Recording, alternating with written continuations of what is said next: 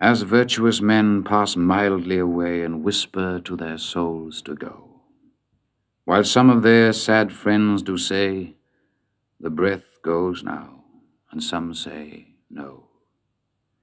So let us melt and make no noise, no tear floods nor sigh tempests move, to a profanation of our joys, to tell the laity our love. Moving of the earth brings harms and fears. Men reckon what it did and meant. The trepidation of the spheres, though greater far, is innocent. Dull, sublunary lovers love whose soul is sense cannot admit absence because it doth remove those things which elemented it.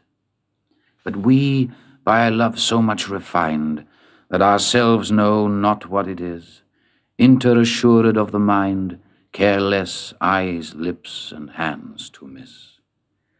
Our two souls, therefore, which are one, though I must go, endure not yet a breach, but an expansion, like gold to airy thinness beat. If they be two, they are two so as stiff twin compasses are two. Thy soul, the fixed foot, makes no show to move, but doth if the other do.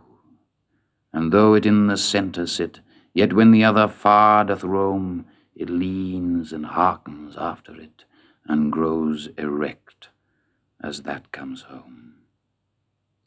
Such wilt thou be to me, who must, like the other foot, obliquely run. Thy firmness makes my circle just, and makes me end where I begun.